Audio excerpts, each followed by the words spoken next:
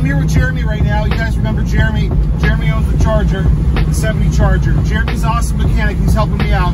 So we're gonna, we just finished the traction bars, so we're gonna do a hard launch right now. And we're also working on seeing how fast we can shift from second to third and not lock it up. In essence, we're actually trying to lock it up so we can figure out why the Muncie locks up. So we're gonna do a good little burnout launch here.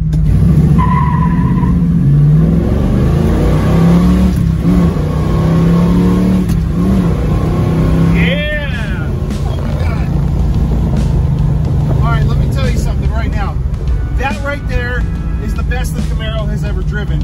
And it's because I'm driving it right now without any hesitation because I know you're with me that we can fix it And we it locked up. We advanced the timing a lot. oh, yeah, that's true. We also fixed the timing. I should mention that. It was off by what, four degrees? Yeah. All right.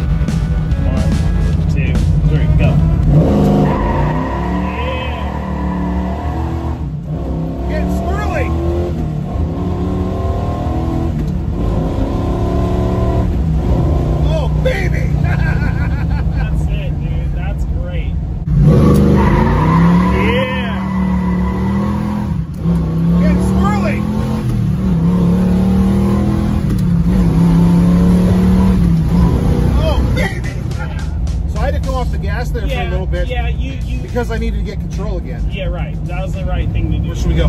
This is my house right here. Okay. Is that that little backfire? Is that normal? Have you ever heard that before? Um, I used to hear it when I first got the car. Okay. And then I hadn't heard it in a while. After. So if you downshift and it backfires, that might be that we have the timing to advance. We have to back it down. I know, so but, but I like it. I know, I know. But it'll it'll it's better for the car. We don't we don't want it to pop. Try to um, downshift and simulate that and see if it pops or what it does. Backfire? Yeah. Right. I just want to see if it does that again. Okay. It wasn't bad. It used to be way worse. It used to be like pop, pop, pop, pop, pop, pop, pop, pop, pop. Yeah. It doesn't make that sound anymore. I have some recordings of that sound in some of my old videos too. But did you feel how smooth spinning? How it just like just stayed planted and just Dude. you could lay a patch like It felt great. We should go back and look at the rubber we Oh, left. that'll be, yeah, that'll be some rubber there. Drive, and then I want you to downshift kind of hard. Like I want Okay. the, I want you to downshift kind of hard, and I want you to let off the gas as you decelerate. And I want to hear if it goes ba ba ba ba ba ba ba.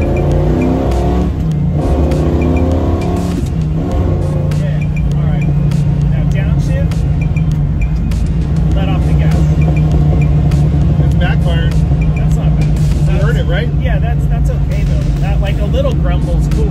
I love the grumble. Yeah, the bu- bu- bu- bu- like Yeah, that's that's like- like, that's tuned.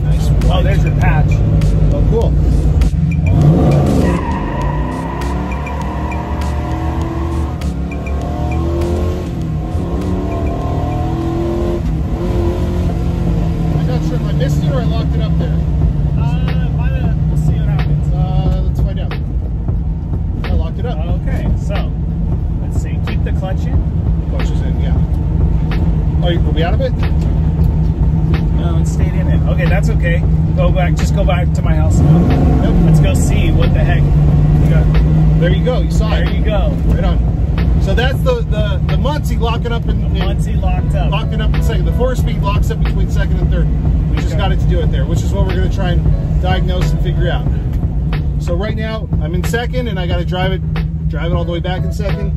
So yeah, Yeah. we're in second because that's all we can do. Well, at least it's in second, Yeah. and that just doesn't come out, huh? No, that's exactly what I'm talking about.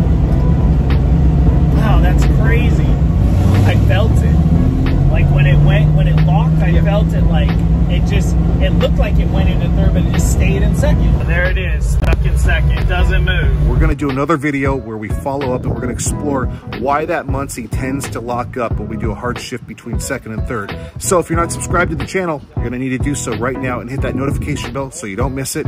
And uh, watch some of the racing videos. I'm going to put a playlist on the screen right now. Thanks, guys. I appreciate you.